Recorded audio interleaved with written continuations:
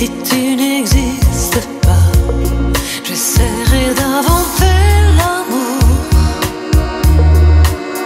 Comme un peintre qui voit sous ses doigts naître les couleurs du jour.